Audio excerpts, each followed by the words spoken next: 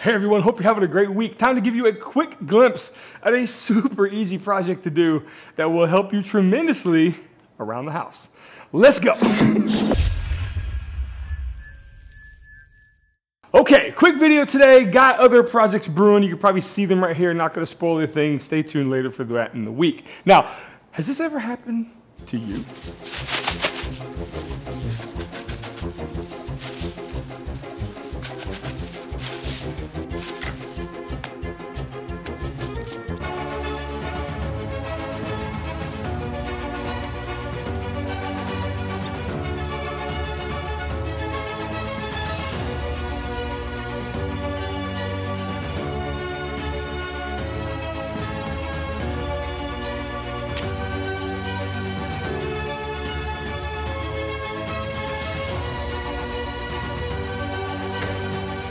Yeah, I'm really not that happy to make this.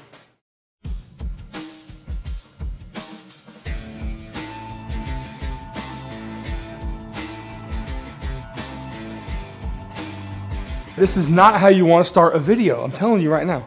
The, um, I cut it. I cut it the wrong way. I cut it the wrong orientation. Um, okay, so like it flexes like this a lot, right? But honestly, that's it's too short now. God. okay. so I'm gonna take you over here and show you the one I made a few weeks ago. Um, man, that, that really sticks right in the craw, man. I'm telling you right now. Um, what a bonehead mistake. Okay, so, all right, let me show you what I got. I mean, this is one of those quick glimpse any uh, projects anyway. This is one that I made a few weeks ago, and it really, I mean, it's been trained even more uh, because, my goodness. Anyway, this is really handy. They are commercially available. We had one, it's called the Quick Can. Um, I'm actually gonna put a picture of it here.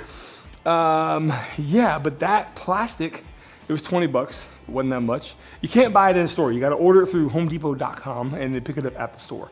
Um, so, long story short is that ours um, sat out in the sun, which wasn't that. I mean, even if this sat out in the sun, it might become brittle, uh, and it did. And it started to crack, started to break. So um, it works great.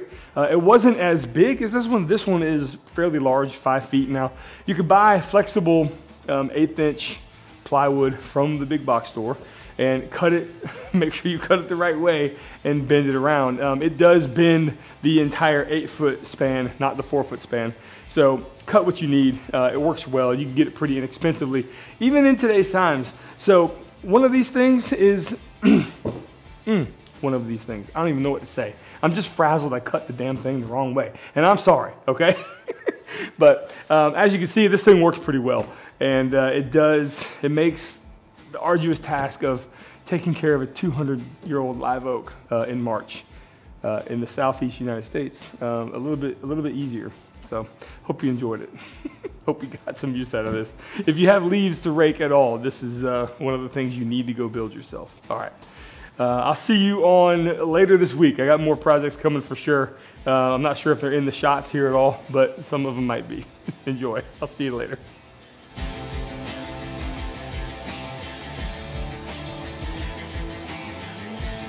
Hmm. What is that?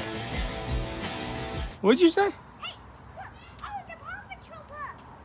Did you say don't run? Look, they're behind you. What? What is it? Marshall. Marshall? Is he part of the Paw Patrol? Yeah. Yeah. At a playhouse.